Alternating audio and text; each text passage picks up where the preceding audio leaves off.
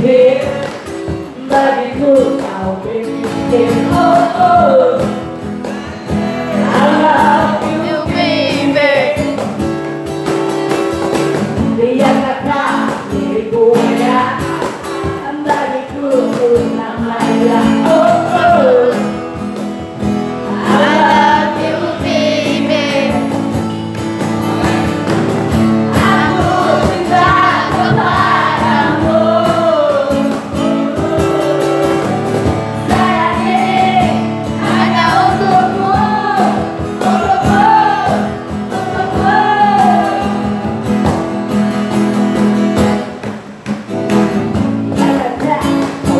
vida.